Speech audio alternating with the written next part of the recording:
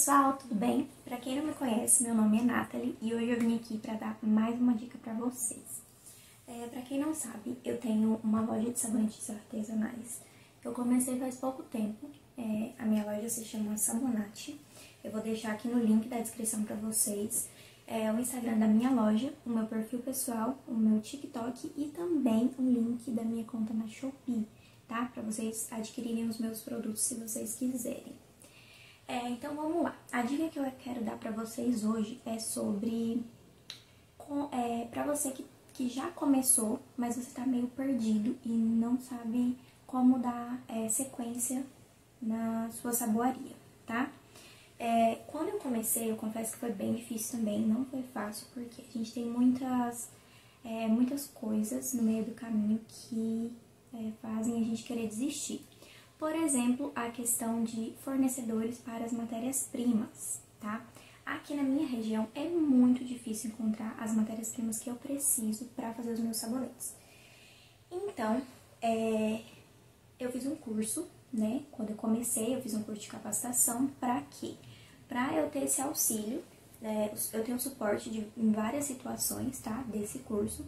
E uma das que me ajudou muito foi a questão dos fornecedores. Por quê? Lá eles vão nos direcionar onde o, é, o preço é menor, onde compensa, onde vale a pena.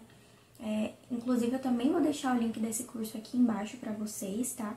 Foi o curso que eu fiz, que dentre os que eu pesquisei foi o que eu achei que o preço dele é mais justo em relação a tudo que ele oferece, tá? Vale muito a pena.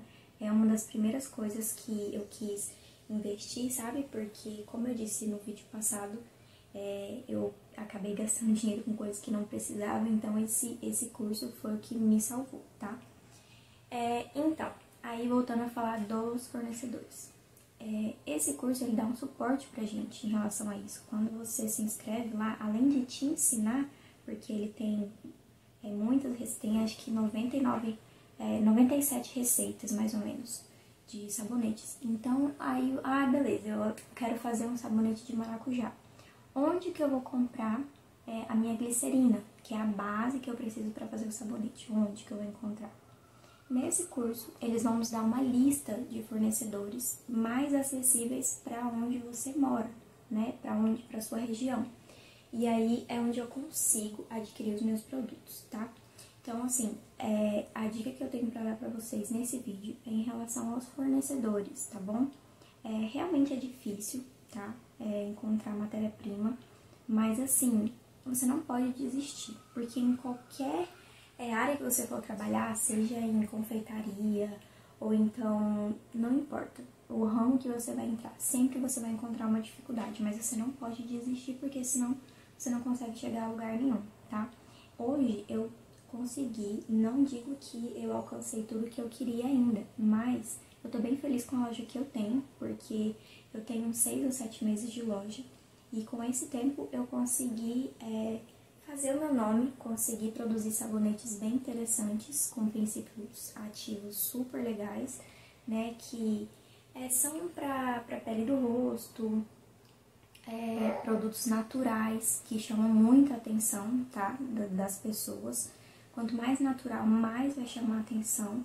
E essa é uma dica que eu aprendi lá no curso, porque eu achava que tinha que ser só bonito, mas não tem que ser só bonito. Ele tem que ter algum, algum benefício além disso, tá?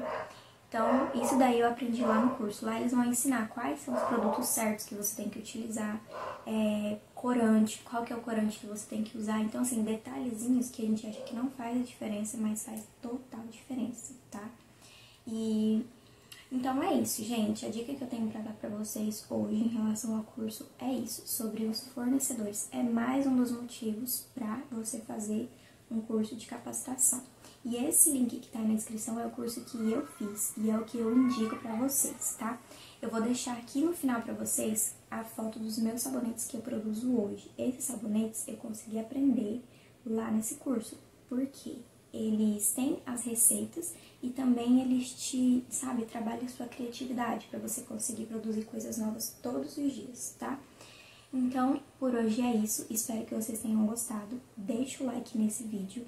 É, se inscreva no meu canal para você acompanhar. Eu vou postar mais dicas aqui para vocês, tá?